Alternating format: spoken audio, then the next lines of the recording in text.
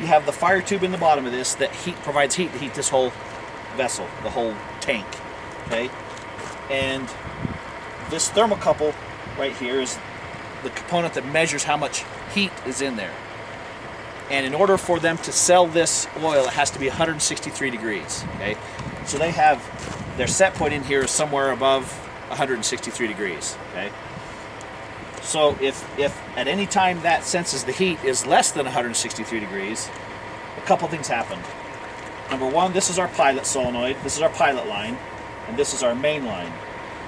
If it if it's below 160 degrees, it opens the solenoid because it's wired back to our box opens the solenoid, lets gas into the pilot, and then through this wire right here, there's an ignition coil that provides spark, and that lights the pilot. Have gas and spark, lights the pilot, okay?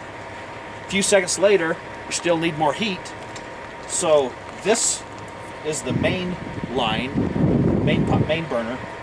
It will open up and let gas into the main, and it's right next to the pilot, and the pilot then lights the main burner Okay?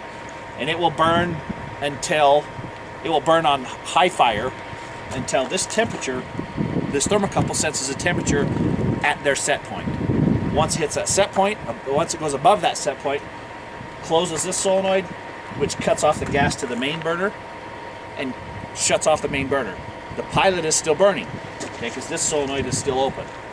10 degrees higher is where they have it set here at uh, you know, if, if they run it at 160 and, and then this will be set at 170, when the tank hits 170, if it continues to heat up until it hits 170, then this one shuts off and it kills all of all the fire inside the tube.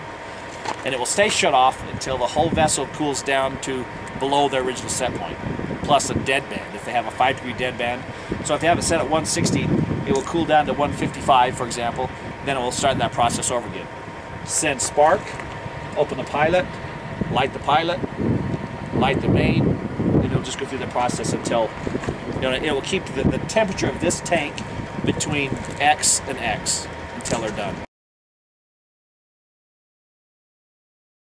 Well, they would have had a pneumatic system in here, which is an air-driven system, and there's no control on the on the pilot at all. It uh, it would if it ever blew out, it would just keep dumping fuel in there until they realized it was out and they come out and relit it. Okay. Um, and and then if they were to light it, they'd have to light it by hand. So they'd take this cap off and take a piece of stainless steel tubing with a rag on the end, spray it with WD-40 and light it, and then stick it in that hole to light, relight the fuel that's that's spewing in there.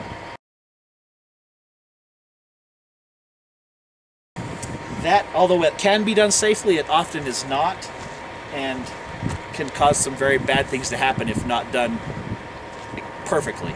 So it requires the person to be here to do it too. Yeah, that's true. If, if this this is where there's an office, so it's close.